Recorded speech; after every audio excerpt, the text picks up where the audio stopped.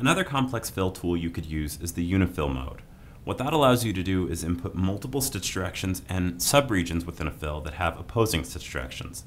Let's take a look at when and how to use it. To access the unafill mode, I would click and hold for half a second. The unafill mode is the third icon over. It's the fill that has two stitch directions going across it. When I let go, that is the tool that I now have available to me.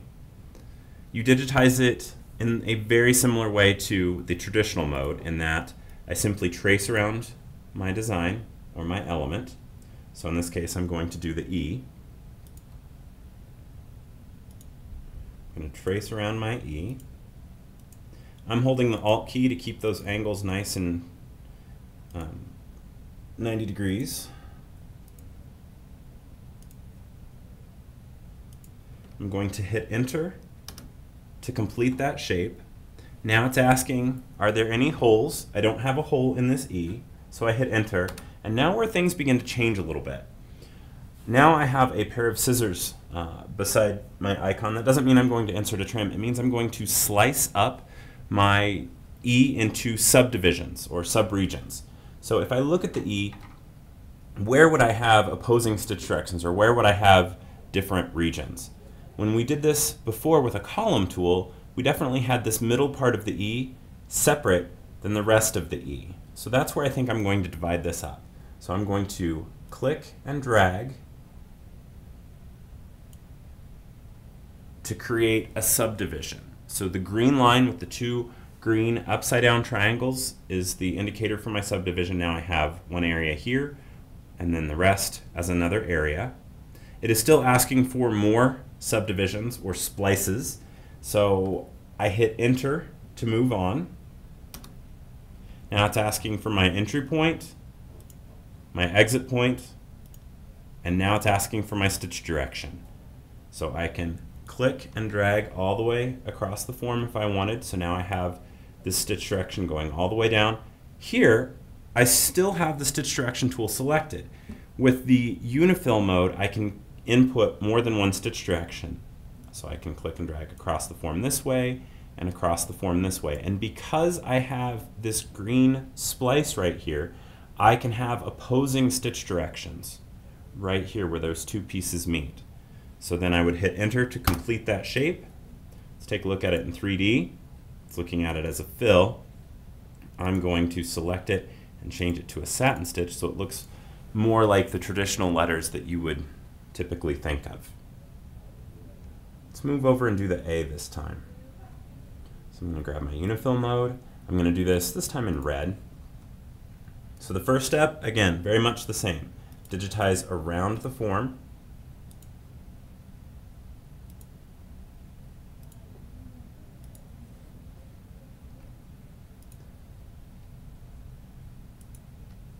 Hit enter to complete the form. Now it's asking for a hole. This time I do have one. So I'm going to input it.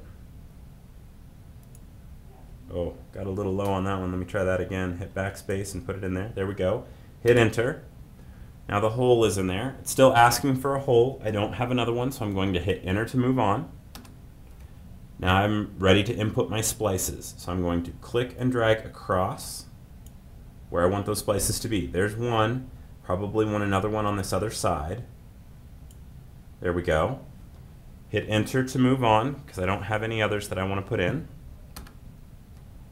I'll put in my entry point, my exit point, and now let me put in my stitch directions. So I definitely want to go across the A this way. Yeah, that looks about right. Now the crossbar, I definitely want to be going down.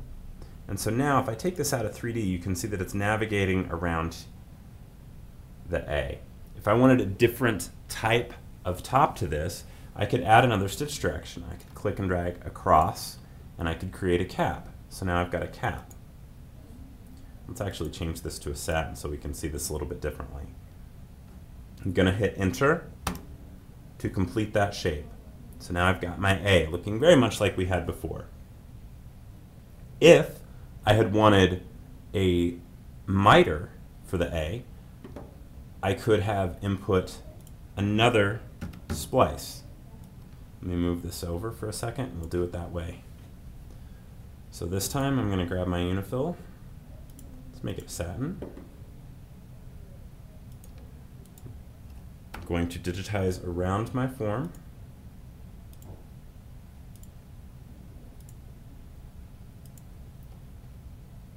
Up, over, hit enter to close the shape, and put my hole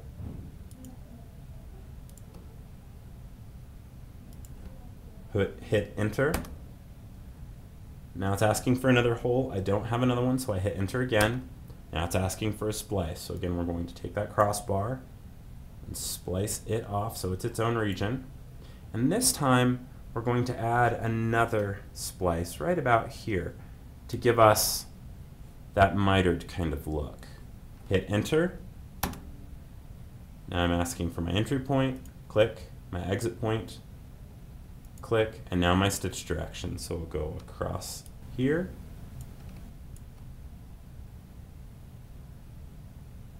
So we've got the stitch direction going across. I'm going to change the crossbar to going vertically. And now I'm going to hit enter. And now I have a miter for this A.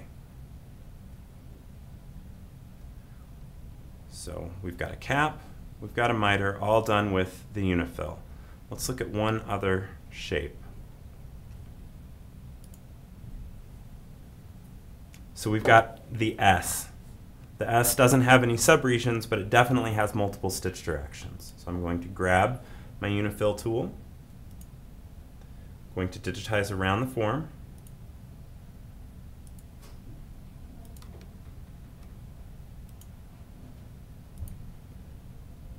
Being careful not to exceed 180 degrees in any set of three points.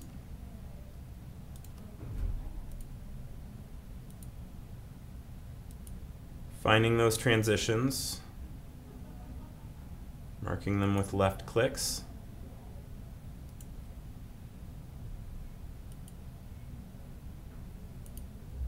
Coming all the way around. Hitting enter to close the shape. Are there any holes? No, so I'm going to hit enter. Are there any splices? Not this time, so I'm going to hit enter. My entry point, my exit point, and now my stitch directions. So I can enter a stitch direction here, aiming towards the middle of those curves.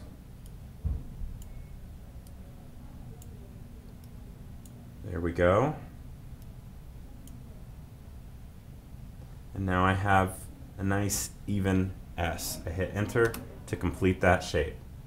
So the unafill can be used to create more complex shapes, shapes with subregions, and shapes with multiple stitch directions.